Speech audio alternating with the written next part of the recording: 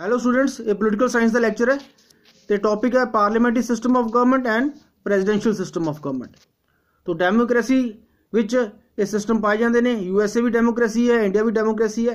ਲੇਕਿਨ you S ਏ ਵਿੱਚ presidential system ਹੈ, ਆਪਣਾ ਜਿਹੜਾ ਹੈ ਪਾਰਲੀਮੈਂਟਰੀ ਸਿਸਟਮ ਹੈ। ਆਪਾਂ ਇਹ ਪਾਰਲੀਮੈਂਟਰੀ ਸਿਸਟਮ ਬੋਰੋ ਕੀਤਾ ਹੈ। ਬ੍ਰਿਟਨ ਤੋਂ, ਬ੍ਰਿਟਨ ਨੇ 200 ਸਾਲ 250 ਸਾਲ ਆਪਣੇ ਤੇ ਰਾਜ ਕੀਤਾ ਹੈ। ਤੋਂ ਉਹੀ ਪਾਰਲੀਮੈਂਟਰੀ ਸਿਸਟਮ ਆਪਾਂ ਫੋਲੋ ਕਰ ਰਹੇ ਹਾਂ। ਆਪਣੀ ਇੱਕ ਪਾਰਲੀਮੈਂਟ ਹੈ ਦਿੱਲੀ ਦੇ ਵਿੱਚ, ਠੀਕ ਹੈ। ਉਹਦੇ ਵਿੱਚ ਲੋਕ ਸਭਾ ਇੱਕ ਹਾਊਸ ਹੈ।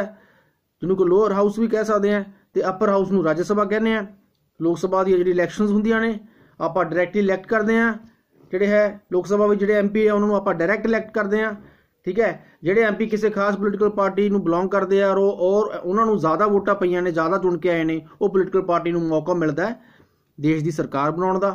ਤੇ ਜਿਹੜੀ ਜਿਹੜੀ ਦੇਸ਼ ਦੀ ਸਰਕਾਰ ਹੈ, ਉਹਨੂੰ ਆਪਾਂ ਐਗਜ਼ੀਕਿਊਟਿਵ ਕਹਿੰਦੇ ਆ ਤੇ ਐਗਜ਼ੀਕਿਊਟਿਵ ਦਾ ਹੈੱਡ ਕੌਣ ਹੈ? ਪ੍ਰਾਈਮ ਮਿਨਿਸਟਰ ਹੈ। Prime minister is the head of the executive ਅਸਲ ਵਿੱਚ ਪ੍ਰਾਈਮ ਮਿਨਿਸਟਰ ਰੀਅਲ ਹੈੱਡ ਹੈ prime minister is the real head he is the power house ਸਾਰੀਆਂ ਪਾਵਰਾਂ ਪ੍ਰਾਈਮ ਮਿਨਿਸਟਰ ਕੋਲ ਨੇ ਤੇ ਉਹਦੇ ਕੈਬਨਿਟ ਕੋਲੇ ਹੈ prime minister is the real head of the government ਠੀਕ ਹੈ and who is the nominal head of the state state the head ਕੌਣ ਹੈ ਇੰਡੀਆ ਦਾ ਇੰਡੀਆ ਦਾ ਅਬ ਜੋ ਕੁਐਸਚਨ ਹੈਗਾ who is the head of the state head of the state ਆਪਣਾ president ਹੈ ਲੇਕਿਨ ਪ੍ਰੈਜ਼ੀਡੈਂਟ ਕੋਲ ਪਾਵਰਾਂ ਨਹੀਂ ਆਣੀਆਂ ਹੈਗੀਆਂ he is only the nominal head real real ਪਾਵਰਾਂ the real head of the state he real head of the government ਜਿਹੜਾ ਹੈ he is the prime minister of India prime ਤੋ all important majority decisions are taken by the prime minister ਅਸਲੀ policy decision ਜਿਹੜੀ ਹੈ ਉਹ cabinet ਲੈਂਦੀ ਹੈ। Cabinet cabinet ਹੀ practically ਦੇਸ਼ ਨੂੰ ਚਲਾਉਂਦਾ ਹੈ।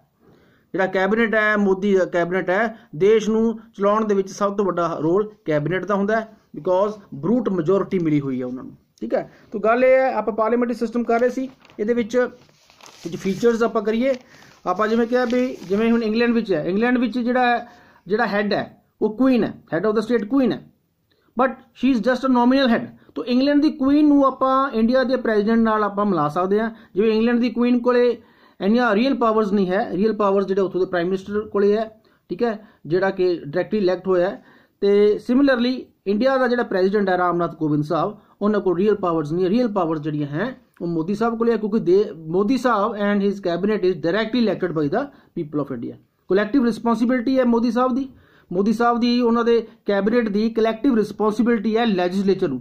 ਅਗਰ ਇੱਕ ਵੀ ਮਿਨਿਸਟਰ ਨੇ ਕੋਈ ਗਲਤੀ ਕੀਤੀ ਹੈ, ਅਗਰ ਉਹਦੇ ਕੰਮਕਾਜ ਵਿੱਚ ਕੋਈ ਕਮੀ ਹੈ, ਤਾਂ he has to answer the questions put to him by the opposition members ਕੋਈ ਵੀ ਆਪੋਜੀਸ਼ਨ ਦਾ ਮੈਂਬਰ ਹੈ ਐਮਪੀ ਹੈ, ਉਹ ਕੁਐਸਚਨ ਪੁੱਟ ਕਰ ਸਕਦਾ ਕਿ ਭਾਈ ਦੱਸ ਬਈ ਤੇਰੇ ਚ ਆਹ ਗਲਤੀ ਹੋਈ ਹੈ, ਤੂੰ ਆਹ ਡਿਪਾਰਟਮੈਂਟ ਨੂੰ ਹੈੱਡ ਕਰਦਾ ਹੈ ਤੇ ਤੂੰ ਆਹ ਗਲਤੀ ਹੋਈ ਹੈ, ਇਹਦਾ ਜਵਾਬ ਦੇ।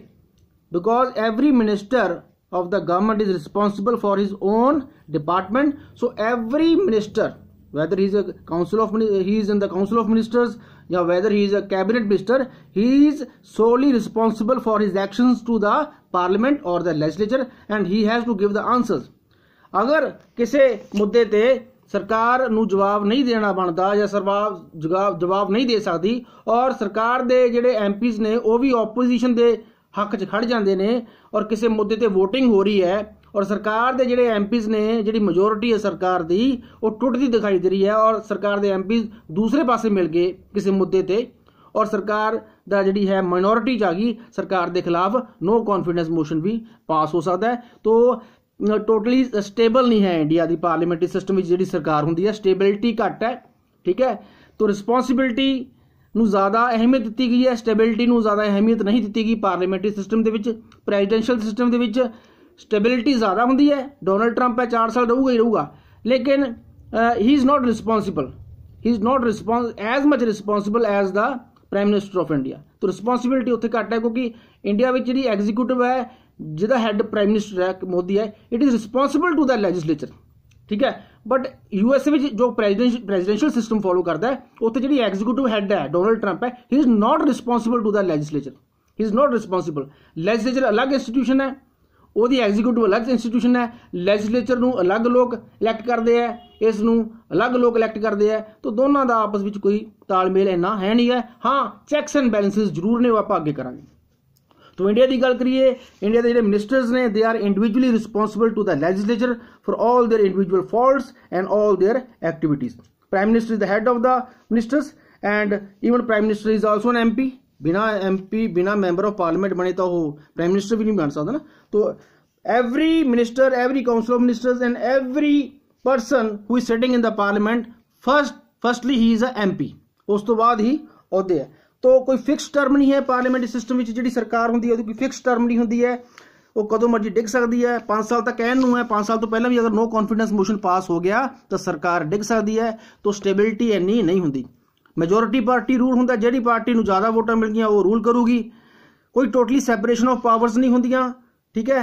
ਪਾਰਲੀਮੈਂਟਰੀ ਸਿਸਟਮ ਆਫ ਗਵਰਨਮੈਂਟ ਵਿੱਚ ਆਪਣੇ ਇੰਡੀਆ ਦੀ ਗੱਲ ਕਰੀਏ ਐਗਜ਼ੀਕਿਊਟਿਵ ਜਿਵੇਂ ਤੁਹਾਨੂੰ ਦੱਸਿਆ ਸਰਕਾਰ ਹੈ, ਉਹ ਪਾਰਲੀਮੈਂਟ ਦੇ ਵਿੱਚ ਹੀ ਬਹਿੰਦੀ ਹੈ ਲੈਜਿਸਲੇਚਰ ਦੇ ਵਿੱਚ ਹੀ ਬਹਿੰਦੀ ਹੈ।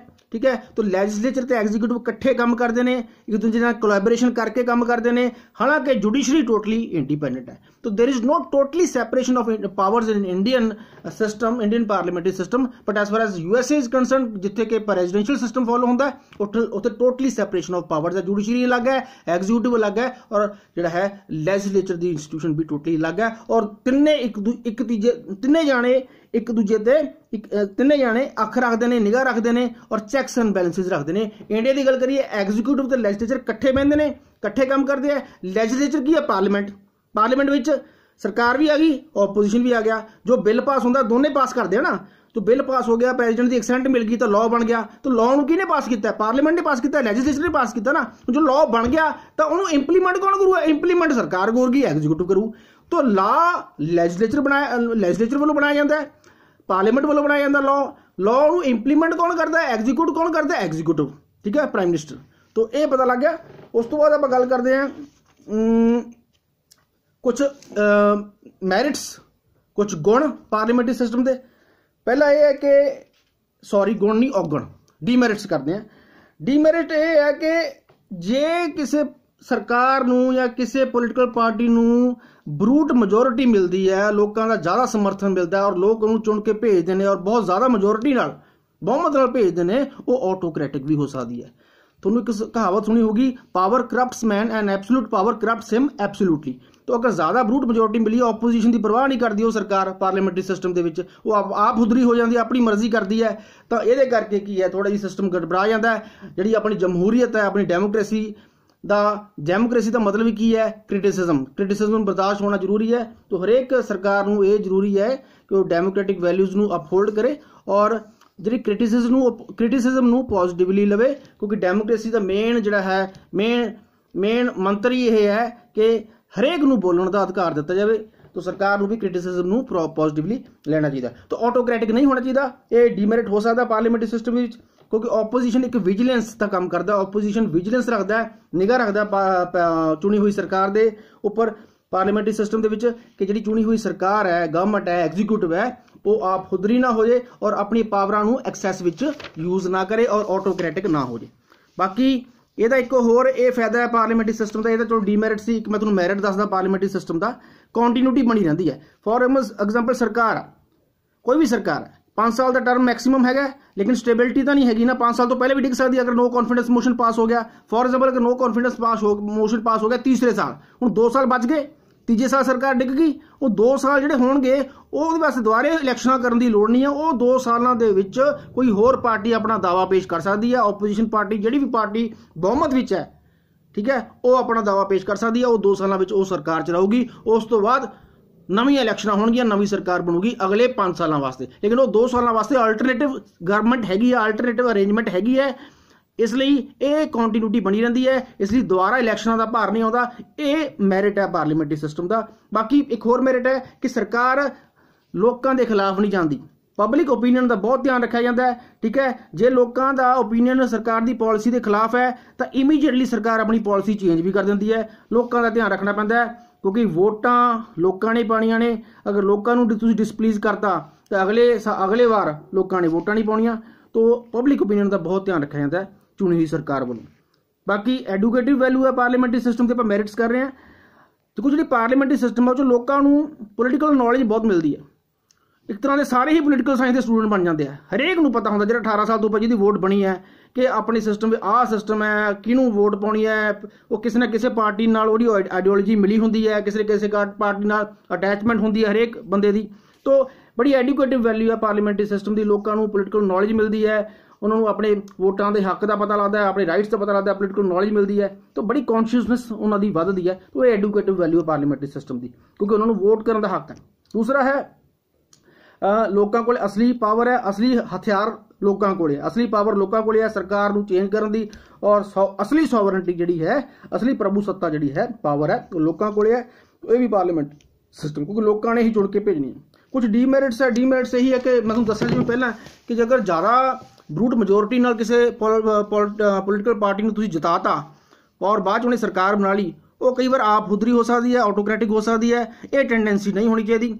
ਇੱਕ ਹੋਰ ਡੀਮੈਰਿਟ ਹੈ ਕਿ ਪਾਰਲੀਮੈਂਟਰੀ ਸਿਸਟਮ ਵਿੱਚ ਅਗਰ ਕੋਈ ਪਾਰਟੀ ਜਿੱਤ ਕੇ ਆਉਂਦੀ ਹੈ, ਉਹ ਆਪਣੀ ਪਾਲਿਸੀਆਂ ਜਿਹੜੀ ਸਰਕਾਰ ਜੋ ਜਿੱਤ ਕੇ ਆਉਂਦੀ ਹੈ ਇਲੈਕਸ਼ਨ ਤੋਂ ਪਹਿਲਾਂ ਉਹਨਾਂ ਦਾ ਮੈਨੀਫੈਸਟੋ ਹੁੰਦਾ। ਮੈਨੀਫੈਸਟੋ ਜਿਹੜੀ ਗੱਲਾਂ ਹੁੰਦੀਆਂ ਇਲੈਕਸ਼ਨ ਤੋਂ ਬਾਅਦ ਅਗਰ ਉਹ ਜਿੱਤਦੀ ਹੈ, ਉਹ ਲਾਗੂ ਕਰਦੀ ਹੈ।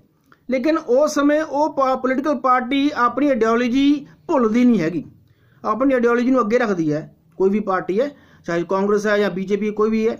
ਲੇਕਿਨ ਕਹਿਣ ਦਾ ਭਾਵ ਇਹ ਹੈ, ਇਹ ਇੱਕ ਡੀਮੈਰਿਟ ਹੈ, ਕਿਉਂਕਿ ਉਦੋਂ ਫਿਰ ਸਰਕਾਰ ਲਈ ਕੰਟਰੀ ਜਾਂ ਦੇਸ਼ ਮੂਰੇ ਹੋਣਾ ਚਾਹੀਦਾ ਆਪਣੀ ਆਈਡੀਓਲੋਜੀ ਥੋੜੀ ਜਿਹੀ ਪਿੱਛੇ ਹੋਣੀ ਚਾਹੀਦੀ ਹੈ, ਦੇਸ਼ ਲਈ ਕੰਮ ਕਰਨਾ ਚਾਹੀਦਾ ਇਸ ਲਈ ਉਹਨਾਂ ਦੇ ਥੋੜੇ ਇੰਟਰਸਟ ਜਿਹੜੇ ਹੈ ਨਾ ਉਹ ਆਪਣੇ ਪਰਸਨਲ ਪੋਲੀਟੀਕਲ ਪਾਰਟੀ ਦੀ ਆਈਡੀਓਲੋਜੀ ਨੂੰ ਥੋੜਾ ਜਿਹਾ ਅੱਗੇ ਰੱਖਣ ਦੀ ਇਹ ਕੋਸ਼ਿਸ਼ ਹੁੰਦੀ ਹੈ ਹਰੇਕ ਪਾਰਟੀ ਦੀ ਕੋਸ਼ਿਸ਼ ਹੁੰਦੀ ਹੈ ਕਿਸੇ ਪਾਰਟਿਕੂਲਰ ਪਾਰਟੀ ਦੀ ਗੱਲ ਨਹੀਂ ਕਰ ਰਿਹਾ ਮੈਂ।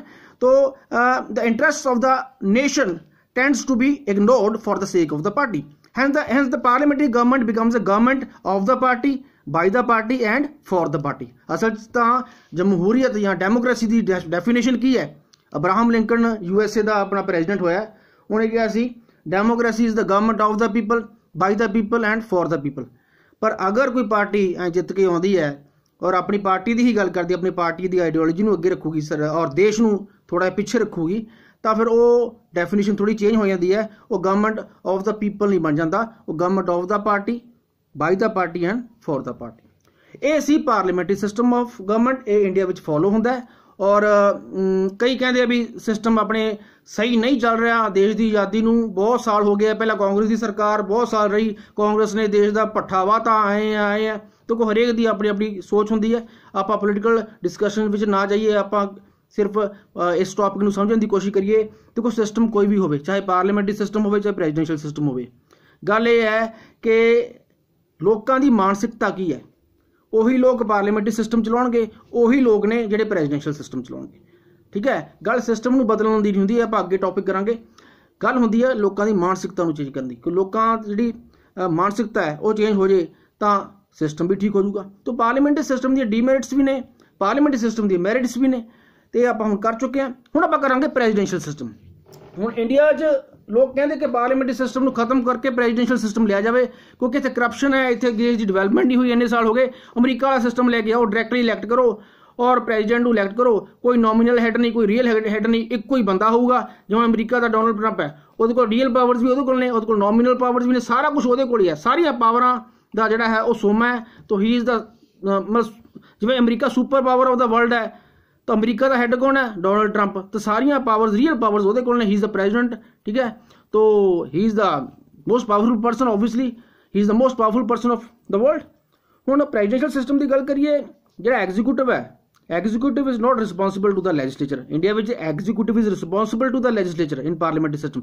but in presidential system executive is not responsible to the legislature and Donald Trump the election ਅਲੱਗ ਹੁੰਦੀ ਹੈ ਉਹ ਐਗਜ਼ੀਕਿਊਟਿਵ ਦਾ ਹੈੱਡ ਹੈ ਠੀਕ ਹੈ, ਉੱਥੋਂ ਦੀ ਪਾਰਲੀਮੈਂਟ ਯੂਐਸ ਦੀ ਪਾਰਲੀਮੈਂਟ ਹੁੰਦੀ ਹੈ, ਕਾਂਗਰਸ, ਉੱਥੋਂ ਦੀ ਇਲੈਕਸ਼ਨ ਅਲੱਗ ਹੁੰਦੀ ਹੈ, ਉਹ ਵੀ ਲੋਕ ਇਲੈਕਟ ਕਰਦੇ ਆ। ਲੇਕਿਨ ਕਾਂਗਰਸ ਦਾ ਜਾਂ ਪਾਰਲੀਮੈਂਟ ਦਾ ਯੂਐਸਏ ਦਾ ਯੂਐਸਏ ਦੀ ਪਾਰਲੀਮੈਂਟ ਦਾ ਐਗਜ਼ੀਕਿਊਟਿਵ ਨਾਲ ਕੋਈ ਇੰਨਾ ਹੈ ਨਹੀਂ। ਅਲੱਗ-ਅਲੱਗ ਇੰਸਟੀਟਿਊਸ਼ਨਸ ਨੇ, ਨਾ ਪ੍ਰੈਜ਼ੀਡੈਂਟ ਨੂੰ ਕੋਈ ਛੇੜ ਸਕਦੀ ਹੈ ਉਹਨਾਂ ਦੀ ਪਾਰਲੀਮੈਂਟ, ਨਾ ਪ੍ਰੈਜ਼ੀਡੈਂਟ ਕਾਂਗਰਸ ਨੂੰ ਥੱਲੇ ਲਾ ਸਕਦਾ ਹੈ। ਦੋਨਾਂ ਦਾ ਆਪਣਾ ਆਪਣਾ ਵਜੂਦ ਹੈ। ਦੋਨੇ ਇੱਕ ਦੂਜੇ ਦੇ ਨਾਲ ਇਕੱਠੇ ਰਲ ਕੇ ਕੰਮ ਨਹੀਂ ਕਰਦੇ, ਜਿਵੇਂ ਇੰਡੀਆ ਵਿੱਚ ਐਗਜ਼ੀਕਿਊਟਿਵ ਤੇ ਲੈਜਿਸਲੇਟਰ ਰਲ ਕੇ ਕੰਮ ਕਰਦੇ ਆ। ਪ੍ਰੈਜ਼ੀਡੈਂਟ ਦਾ ਆਪਣਾ ਸਿਸਟਮ ਹੈ। ਤੇ ਕਾਂਗਰਸ ਦਾ ਆਪਣਾ ਹਾਂ ਇੱਕ ਦੂਜੇ ਤੇ ਨਿਗਾਹ ਜ਼ੋਰ ਰੱਖਦੇ ਇੱਕ ਦੂਜੇ ਦੀ ਟਿੱਪਣੀ ਜ਼ਰੂਰ ਕਰਦੇ ਨੇ ਇੱਕ ਦੂਜੇ ਕ੍ਰਿਟਿਸਿਜ਼ਮ ਜ਼ਰੂਰ ਕਰਦੇ ਨੇ ਔਰ ਚੈਕਸ ਐਂਡ ਬੈਲੈਂਸਸ ਰੱਖਦੇ ਆ ਤੇ ਜੁਡੀਸ਼ਰੀ ਵੀ ਟੋਟਲੀ ਉਹਨਾਂ ਦੀ ਚੈਕਸ ਐਂਡ ਬੈਲੈਂਸਸ ਰੱਖਦੀ ਹੈ so president is not responsible to the legislature of the this presidential system of government there is no distinction between the nominal executive and real executive ਦੋਨੇ ਪਾਵਰਾਂ president ਕੋਲ ਹੁੰਦੀਆਂ ਨੇ the same person that is president performs the function of the real executive and nominal executive ਤੇ ਜਿਹੜਾ real authority ਜਿਹੜੀ ਹੈ, ਉਹ ਪ੍ਰੈਜ਼ੀਡੈਂਟ ਕੋਲ ਹੀ ਹੁੰਦੀ ਹੈ। ਆਪਾਂ ਅਮਰੀਕਾ ਦੀ ਗੱਲ ਕਰੀਏ, ਤਾਂ ਰੀਅਲ ਪਾਵਰਾਂ ਪ੍ਰੈਜ਼ੀਡੈਂਟ ਕੋਲ ਹੁੰਦੀਆਂ ਨੇ ਪ੍ਰੈਜ਼ੀਡੈਂਸ਼ੀਅਲ ਫਾਰਮ ਆਫ ਗਵਰਨਮੈਂਟ ਦੇ ਵਿੱਚ। He exercises all the executive powers both in theory and practice ਹੁਣ ਇੰਡੀਆ ਵਿੱਚ ਪ੍ਰੈਕਟੀਕਲੀ ਤਾਂ ਰੀਅਲ ਪਾਵਰਾਂ ਜਿਹੜੀਆਂ ਹੈਗੀਆਂ ਨੇ, ਉਹ ਪ੍ਰਾਈਮ ਮਿਨਿਸਟਰ ਕੋਲ ਹੈ। ਲੇਕਿਨ ਜੇ ਥਿਓਰੀਟਿਕਲੀ ਗੱਲ ਕਰੀਏ ਹੈੱਡ ਆਫ ਦਾ ਸਟੇਟ ਕੌਣ ਹੈ ਪ੍ਰੈਜ਼ੀਡੈਂਟ ਤਾਂ ਆਪਾਂ ਨੂੰ ਆਇਆ ਲੱਗਦਾ ਪ੍ਰੈਜ਼ੀਡੈਂਟ ਕੋਲ ਸਾਰੀ ਪਾਵਰਾਂ ਨੇ ਲੇਕਿਨ ਪ੍ਰੈਕਟੀਕਲੀ ਪ੍ਰਾਈਮ ਮਿਨਿਸਟਰ ਕੋਲ ਹੀ ਸਾਰੀਆਂ ਪਾਵਰਾਂ ਨੇ ਲੇਕਿਨ ਅਮਰੀਕਾ ਵਿੱਚ ਉਲਟਾ ਅਮਰੀਕਾ ਵਿੱਚ ਸਾਰੀਆਂ ਪਾਵਰਾਂ ਹੀ ਪ੍ਰੈਜ਼ੀਡੈਂਟ ਕੋਲ ਨੇ ਰੀਅਲ ਪਾਵਰਾਂ ਵੀ ਨੇ ਨੋਮੀਨਲ ਦੀ ਗੱਲ ਹੀ ਛੱਡੋ ਤੋ he is not only the head of the state but is also the head of the government India ਵਿੱਚ ਹੈਡ ਆਫ ਦ ਗਵਰਨਮੈਂਟ ਕੀ ਹੈ prime minister head of the state ਕੀ ਹੈ ਪ੍ਰੈਜ਼ੀਡੈਂਟ ਲੇਕਿਨ ਅਮਰੀਕਾ ਵਿੱਚ head of the government and head of the state ਦੋਨੇ ਹੀ president ਹੈ president ਹੀ ਹੈਡ ਆਫ ਦਾ ਸਟੇਟ ਹੈ ਤੇ ਪ੍ਰੈਜ਼ੀਡੈਂਟ ਹੀ ਡੋਨਲਡ ਟਰੰਪ ਹੀ ਹੈਡ ਆਫ ਦਾ ਗਵਰਨਮੈਂਟ ਹੈ। ਉਹ ਨੈਸ਼ਨਲ ਪਾਲਿਸੀ ਬਣਾਉਂਦਾ ਹੈ, ਦੇਸ਼ ਨੂੰ ਚਲਾਉਂਦਾ ਹੈ, ਬੜੀਆਂ ਪਾਵਰਾਂ ਨੇ, ਠੀਕ ਹੈ? Totally separation of power India ਵਿੱਚ ਟੋਟਲੀ ਸੈਪਰੇਸ਼ਨ ਆਫ ਪਾਵਰ ਨਹੀਂ, ਜਿਵੇਂ ਤੁਹਾਨੂੰ ਦੱਸਿਆ ਸੀਗਾ, ਸਿਰਫ ਜੁਡੀਸ਼ਰੀ ਹੀ ਸੈਪਰੇਟ ਹੈ ਐਗਜ਼ੀਕਿਊਟਿਵ ਤੇ ਲੈਜਿਸਲੇਚਰ ਇਕੱਠੇ ਬਟ ਲੇਕਿਨ ਅਮਰੀਕਾ ਵਿੱਚ ਟੋਟਲੀ ਸੈਪਰੇਸ਼ਨ ਆਫ ਪਾਵਰ ਹੈ। Executive is not responsible to the legislature and even legislature in america is not responsible to the executive so this is the feature of the presidential system of government in america. ਠੀਕ ਹੈ? ਤੇ ਨਾ ਹੀ president Congress ਨੂੰ dissolve ਕਰ ਸਕਦਾ, ਨਾ ਹੀ ਕਾਂਗਰਸ ਜਿਹੜੀ ਕਿ ਲੈਜਿਸਲੇਚਰ ਉੱਥੋਂ ਦੀ, ਉਹ ਪ੍ਰੈਜ਼ੀਡੈਂਟ ਨੂੰ ਉਹਦੀ, ਉਹਨੂੰ ਜਿਹੜਾ ਹੈ, ਉਹਦੀ ਟਰਮ ਨੂੰ ਘੱਟ ਕਰ ਸਕਦਾ। ਹਾਂ ਇੰਪੀਚਮੈਂਟ ਪ੍ਰੋਸੈਸ ਜ਼ਰੂਰ ਹੈਗਾ। ਇੰਪੀਚਮੈਂਟ ਰਾਹੀਂ ਪ੍ਰੈਜ਼ੀਡੈਂਟ ਨੂੰ ਵਿਚਾਲੇ ਉਹ ਸੀਟ ਛੱਡਣੀ ਪਊਗੀ, ਲੇਕਿਨ ਉਹ ਬਹੁਤ ਗੁੰਝਲਦਾਰ, ਬੜਾ ਡਿਫਿਕਲਟ ਪ੍ਰੋਸੈਸ ਹੈ। ਤੋਂ ਇੰਪੀਚਮੈਂਟ ਤਾਂ ਬਿਲ ਕਲਿੰਟਨ ਦੀ ਵੀ ਨਹੀਂ ਹੋਈ ਸੀ, ਹੁਣ ਪਿੱਛੇ ਜੇ ਡੋਨਲਡ ਟਰੰਪ ਦੀ ਵੀ ਇੰਪੀਚਮੈਂਟ ਦੀ ਗੱਲ ਚੱਲੀ ਸੀ, ਲੇਕਿਨ ਇੰਪੀਚਮੈਂਟ ਹੋਣੀ ਕੋਈ ਸੌਖੀ ਨਹੀਂ ਹੈ। It is a very difficult process ਤੋਂ ਜਰਲੀ 4 ਸਾਲ ਤਾਂ ਉਹ ਰਹੂਗਾ ਹੀ ਰਹੂਗਾ ਫਿਕਸ ਟਰਮ ਹੈ। ਇਹ ਫਾਇਦਾ ਹੈ ਪ੍ਰੈਜ਼ੀਡੈਂਸ਼ੀਅਲ ਸਿਸਟਮ ਦਾ। ਪ੍ਰੈਜ਼ੀਡੈਂਸ਼ੀਅਲ ਸਿਸਟਮ ਦੀ ਜਿਹੜਾ ਚੁਣਿਆ ਹੋਇਆ ਪ੍ਰੈਜ਼ੀਡੈਂਟ ਆ, ਉਹ ਫਿਕਸ ਟਰਮ 4 ਸਾਲ ਰਹੂਗਾ ਹੀ ਰਹੂਗਾ, ਔਰ ਮੈਕਸਿਮਮ 2 ਟਰਮਸ ਹੁੰਦੀਆਂ 4 ਤੇ 4 8 ਸਾਲ ਤੱਕ ਉਹ ਰਹਿ ਸਕਦਾ ਇੰਡੀਆ 'ਚ ਪਾਰਲੀਮੈਂਟਰੀ ਸਿਸਟਮ 'ਚ ਇਹ ਪ੍ਰੋਬਲਮ ਹੈ ਸਟੇਬਲ ਨਹੀਂ ਹੈਗੀ। 5 ਸਾਲ ਕਹਿਣ ਨੂੰ ਹੈ ਦੂਜੇ ਸਾਲ, ਤੀਜੇ ਸਾਲ ਵੀ ਸਰਕਾਰ ਡਿੱਗ ਸਕਦੀ ਹੈ ਅਗਰ ਨੋ ਕੌਨਫੀਡੈਂਸ ਮੋਸ਼ਨ ਪਾਸ ਹੋ ਗਿਆ। ਤੇ ਇੰਡੀਆ ਦੀ ਜਿਹੜੀ ਹੈ ਸਟੇਬਿਲਿਟੀ ਦੀ ਪ੍ਰੋਬਲਮ ਹੈ, ਲੇਕਿਨ ਆਪਣੀ ਸਰਕਾਰ ਜ਼ਿਆਦਾ ਰਿਸਪੌਂਸਿਬਲ ਹੈ।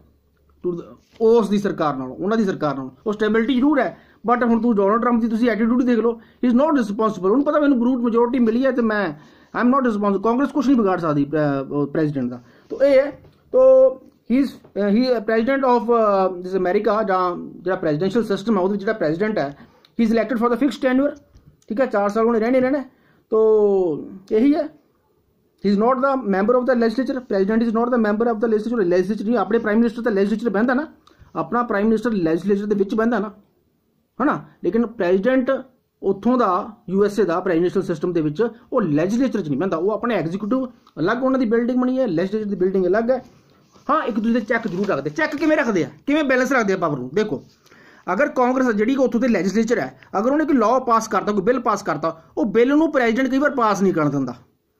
ਪ੍ਰੈਜ਼ੀਡੈਂਟ ਦੀ ਵੀਟੋ ਪਾਵਰ ਹੈਗੀ ਹੈ ਐਂਡ ਵਿੱਚ ਲਾਅ ਤਾਂ ਹੀ ਬਣੂਗਾ ਜੇ ਪ੍ਰੈਜ਼ੀਡੈਂਟ ਦੀ ਘੁੱਗੀ ਹੋਊਗੀ ਪ੍ਰੈਜ਼ੀਡੈਂਟ ਦੇ ਸਾਈਨ ਹੋਗੇ ਕਾਂਗਰਸ ਜਿੰਨੀ ਮਰਜ਼ੀ ਉੱਥੋਂ ਦਾ ਲੈਜਿਸਲੇਚਰ ਹੈ ਕਾਂਗਰਸ, ਅਗਰ ਲਾਅ ਪਾਸ ਕਰ ਸੌਰੀ ਬਿੱਲ ਪਾਸ ਕਰਦਾ ਹੈ ਲਾਅ ਬਣਨ ਵਾਸਤੇ, ਤਾਂ ਐਂਡ ਵਿੱਚ ਪ੍ਰੈਜ਼ੀਡੈਂਟ ਕੋਲ ਆਊਗਾ ਹੀ ਆਊਗਾ। ਪ੍ਰੈਜ਼ੀਡੈਂਟ ਸ਼ਾਇਦ ਸਾਈਨ ਨਾ ਕਰੇ, ਉਹ ਵੀਟੋ ਪਾਵਰ ਯੂਜ਼ ਕਰ ਲੇ।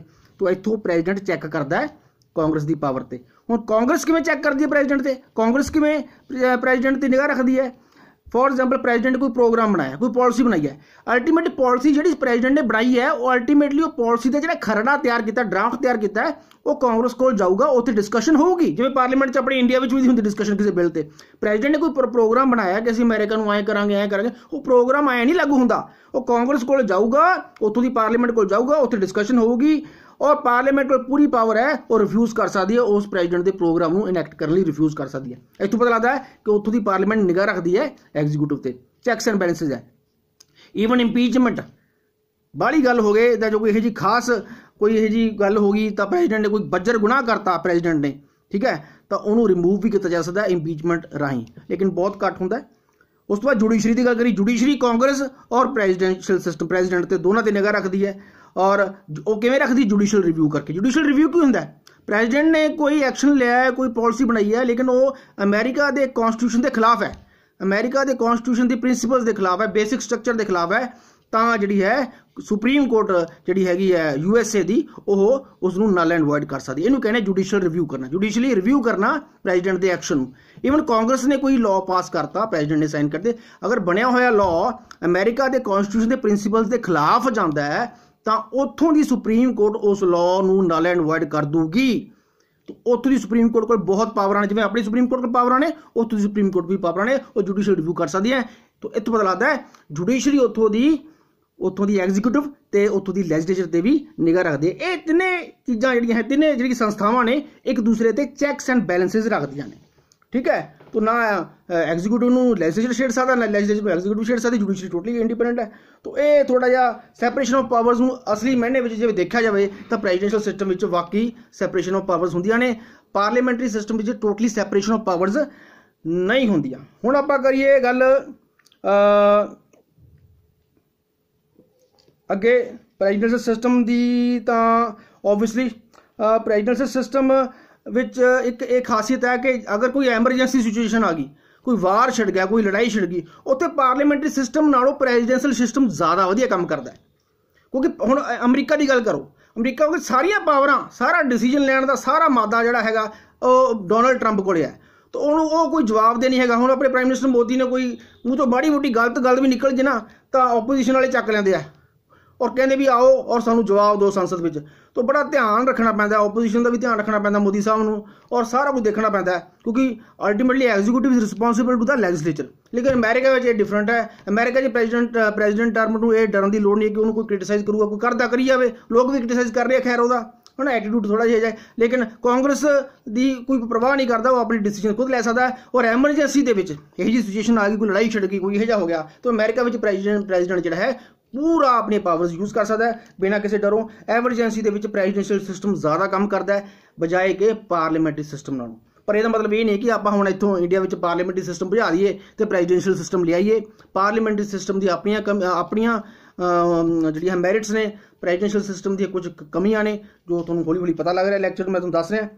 ਤੋਂ ਪ੍ਰੈਜ਼ੀਡੈਂਸ਼ੀਅਲ ਸਿਸਟਮ ਉੱਥੇ ਹੀ ਚੰਗਾ ਹੈ, ਜਿੱਥੇ ਬਹੁਤ ਵੱਡਾ ਏਰੀਆ ਕੰਟਰੀ ਦਾ। ਹੁਣ ਯੂਐਸਏ ਇੰਡੀਆ ਦੇ ਮੁਕਾਬਲੇ ਬਹੁਤ ਵੱਡੀ ਹੈ। ਠੀਕ ਹੈ? ਇੰਡੀਆ ਦਾ ਡਬਲ ਹੀ ਲਾ ਲਓ ਆਪਾਂ। ਤਾਂ ਯੂਐਸਏ ਬਹੁਤ ਵੱਡਾ ਕੰਟਰੀ ਹੈ ਉੱਥੇ ਪਾਰਲੀਮੈਂਟਰੀ ਸਿਸਟਮ ਲਾ ਲਓ ਪ੍ਰੈਜ਼ੀਡੈਂਸ਼ੀਅਲ ਸਿਸਟਮ ਜ਼ਿਆਦਾ ਚੱਲੂਗਾ। ਜਿਵੇਂ ਕਿ ਤੁਹਾਨੂੰ ਪਿਛਲੇ ਲੈਕਚਰ 'ਚ ਮੈਂ ਦੱਸਿਆ ਸੀ ਅਮਰੀਕਾ ਵਿੱਚ America is a federal country it's it ਉਹ ਤਕਰੀਬਨ ਟੋਟਲੀ ਫੈਡਰਲ ਕੰਟਰੀ ਹੈ। ਉਹ ਕੁਐਸੀ ਫੈਡਰਲ ਵੀ ਨਹੀਂ ਹੈਗੀ। ਇੰਡੀਆ ਤਾਂ ਕੁਐਸੀ ਫੈਡਰਲ ਹੈ। ਇੰਡੀਆ ਫੈਡਰਲ ਕੰਟਰੀ ਹੈ। ਯੂਨਿਟਰੀ ਫੀਚਰਸ ਨਾਲ ਹੈ। ਸਟੇਟਾਂ ਦੀ ਆਪਣੀ ਸਰਕਾਰ ਹੈ। ਸੈਂਟਰ ਦੀ ਆਪਣੀ ਸਰਕਾਰ ਹੈ। ਠੀਕ ਹੈ? ਲੇਕਿਨ ਅਮਰੀਕਾ ਠੀਕ ਹੈ? ਲੇਕਿਨ ਸੈਂਟਰ ਦੀ ਪਾਵਰ ਜ਼ਿਆਦਾ ਹੈ। ਅਮਰੀਕਾ ਵੀ ਜੇ ਆਪਾਂ ਗੱਲ ਕਰੀਏ, ਉੱਥੇ ਵੀ ਸੈਂਟਰ ਦੀ ਅਲੱਗ ਸਰਕਾਰ ਹੈ ਸਟੇਟਾਂ ਦੀ ਆਪਣੀ ਸਰਕਾਰ ਉਹ ਸਟੇਟਾਂ ਨੇ ਇੱਕ ਅਗਰੀਮੈਂਟ ਕਰਕੇ ਇਕੱਠੇ ਹੋਏ ਨੇ। ਡਬਲ ਸਿਟੀਜ਼ਨਸ਼ਿਪ ਹੈ, ਠੀਕ ਹੈ? ਤੇ ਡਬਲ ਕਨਸਟੀਟਿਊਸ਼ਨ ਉੱਥੇ ਸਟੇਟਾਂ ਦਾ ਆਪਣਾ ਕਨਸਟੀਟਿਊਸ਼ਨ ਹੈ, ਸੈਂਟਰ ਦਾ ਆਪਣਾ ਕਨਸਟੀਟਿਊਸ਼ਨ ਹੈ। ਤੇ ਪ੍ਰੈਜ਼ੀਡੈਂਸ਼ੀਅਲ ਸਿਸਟਮ ਉੱਥੇ ਜ਼ਿਆਦਾ ਕੰਮ ਕਰੂਗਾ ਪਾਰਲੀਮੈਂਟਰੀ ਸਿਸਟਮ ਨਾਲੋਂ।